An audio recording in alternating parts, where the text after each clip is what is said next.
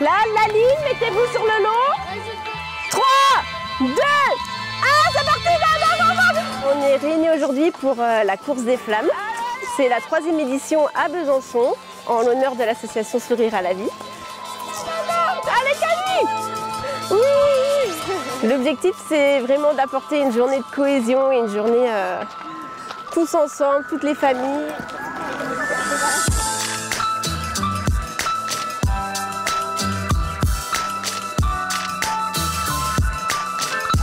On accompagne toujours nos, nos enfants qui sont heureux de se retrouver. Ça fait partager un bon moment aux, aux mamans, oui, aux familles. Moi, ce qui me fait le plus plaisir, c'est la course, parce que j'adore les courses, euh, courir, voilà.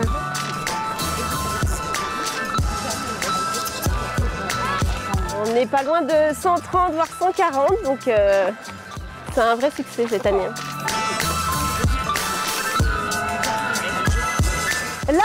L'opportunité de boire un petit coup si vous voulez, de manger un morceau, c'est le temps de collation. On va également mettre voilà, un petit terrain de foot, il y a un puissance 4, des micados, des petites activités. Et on a également un atelier euh, maquillage enfant.